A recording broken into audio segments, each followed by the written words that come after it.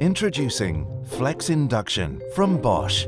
Your pans perfectly heated in every combination.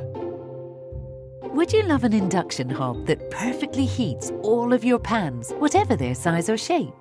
That's what I get with my Bosch. Sometimes I use larger pots and pans or non-circular cookware like griddles, which can end up covering more than one standard circular induction zone.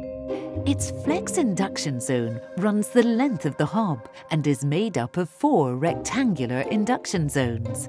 I choose the Flex button to activate all subzones with any part of a pan's base on, which combines them into a single Flex Induction Zone. But when I use just one or several smaller pans, I can disconnect the flex induction area instead to separately activate each inductor with a pan on top.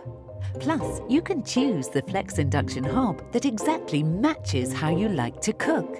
Choose from models with two induction zones and one flex induction zone or models with twin flex induction zones. There's also an 80 centimetre extra wide hob with three induction zones and one flex induction zone. Flex Induction from Bosch. Maximum freedom to use the pots and pans you want